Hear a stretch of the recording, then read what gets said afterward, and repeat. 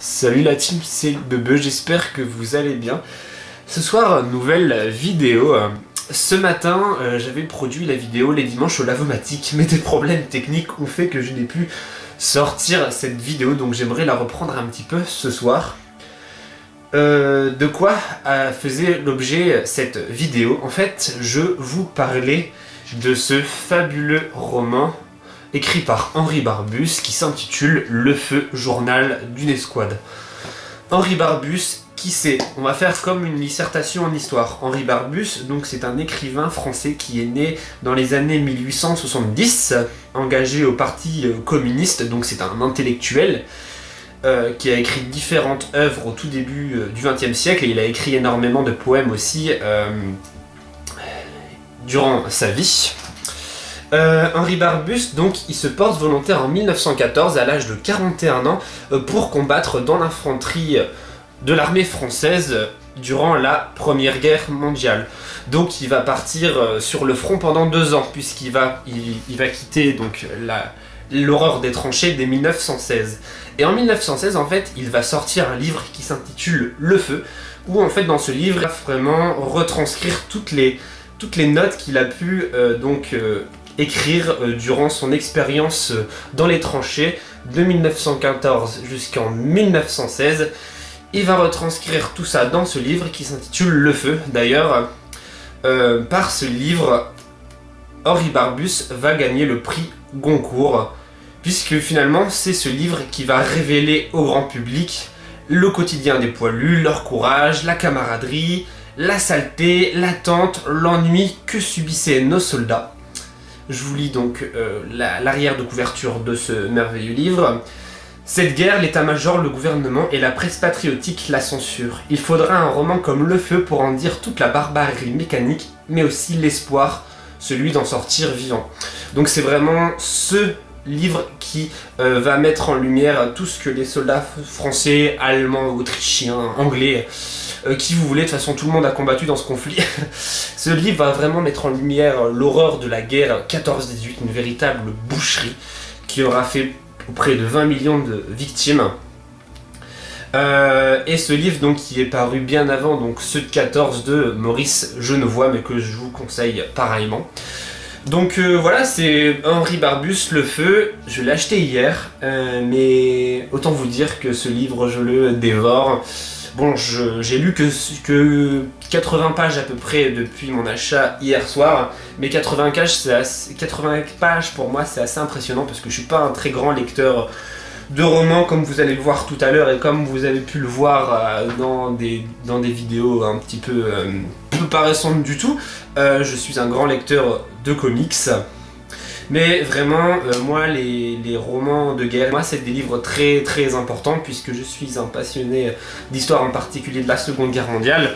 J'en possède plusieurs, donc j'ai les mémoires de Churchill, j'ai un autre livre qui s'intitule With the Hardwood at Peleliu and Okinawa, donc euh, qui est considéré pour beaucoup le meilleur livre qui parle de l'expérience de la Seconde Guerre mondiale vécue par un, soldat, donc euh, écrit par un marine américain qui a combattu dans le Pacifique.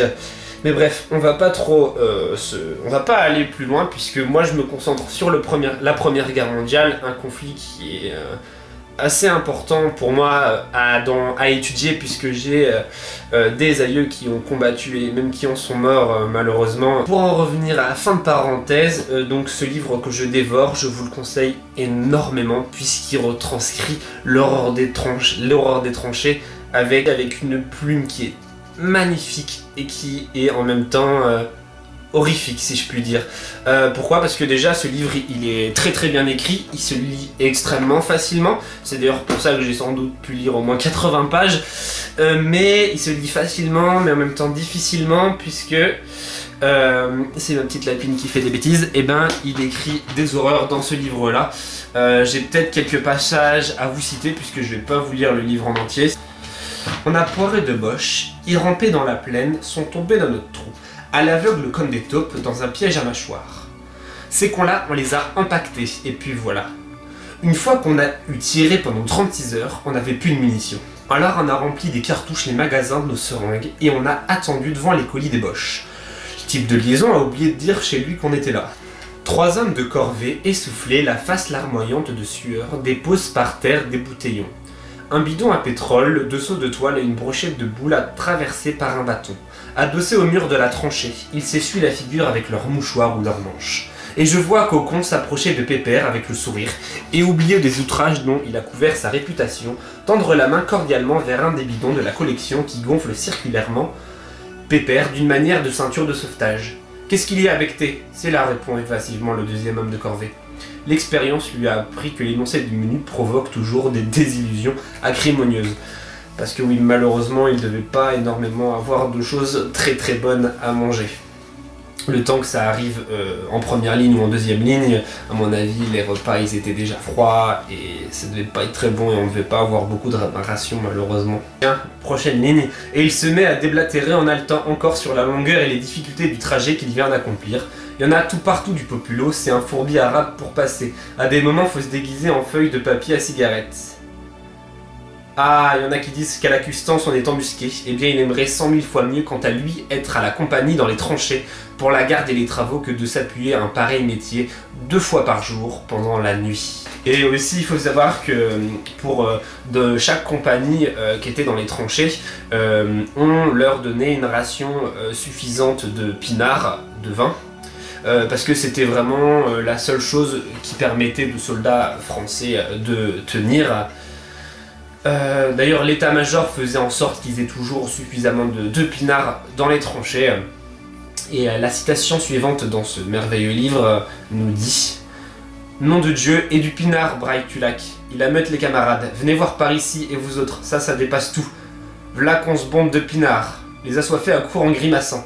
Ah merde alors, s'écrient ces hommes désillusionnés jusqu'au fond de leurs entrailles. Et ça, qu'est-ce qu'il y a dans ce ciot dit l'homme de corvée, toujours rouge et suant en montrant du pinceau. Oui, dit Paradis, je m'ai trompé. Il y a du pinard.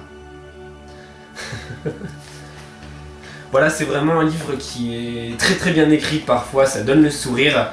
Un autre passage ici qui est absolument euh, euh, terrifiant, cauchemardesque et inimaginable. Il y avait aussi Vigile avec eux. Lui, son corps n'avait rien, mais sa tête s'est trouvée complètement aplatie, aplatie comme une galette, et énorme, large comme cela. À le voir étendu sur le sol, noir, et changé de forme, on aurait dit que c'était son ombre. L'ombre qu'on a quelquefois par terre quand on marche la nuit au falot.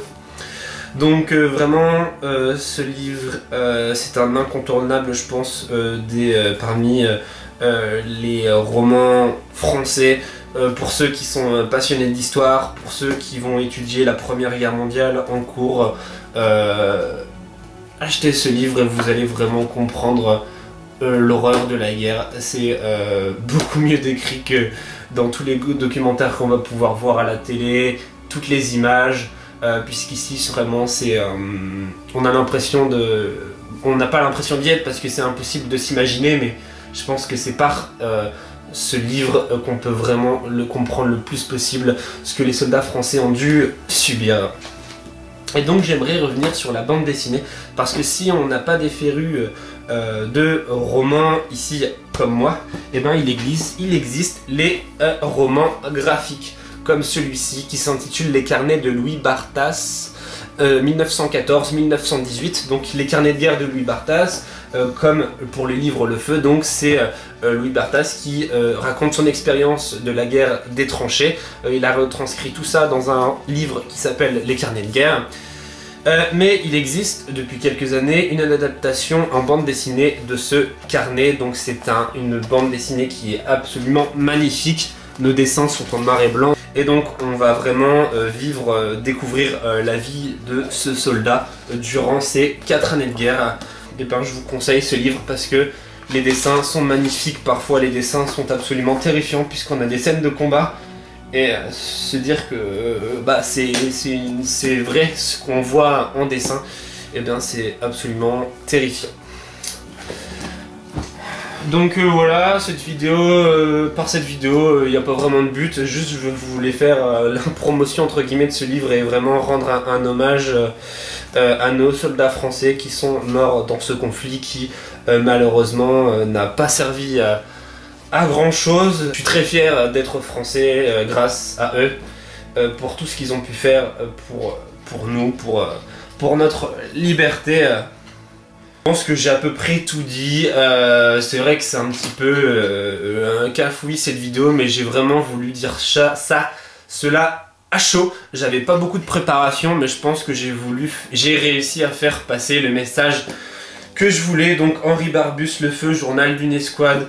Euh, lisez-le. Euh, euh, ce 14 de Maurice Genevois qui est rentré au Panthéon l'année dernière. Lisez-le. Les carnets Louis Bartas, lisez-le. Et c'est comme ça que vous allez vraiment comprendre l'horreur des tranchées, l'horreur que ces hommes ont dû subir alors qu'ils n'avaient rien demandé durant ces quatre années. Et malheureusement, bah, euh, à cause de ce conflit, euh, ces, jeunes, hommes qui avaient euh, pour beaucoup 18, 20, 22, 23 ans, mon âge, bah, ne sont, quand ils sont rentrés à la maison, bah, n'ont plus jamais été les mêmes parce que la guerre les a complètement traumatisés. Donc ne les oublions pas, lisez leurs livres. Bref les frérots, je vous fais des gros bisous, je vous dis à la prochaine et je vous souhaite une bonne soirée. Ciao les bros.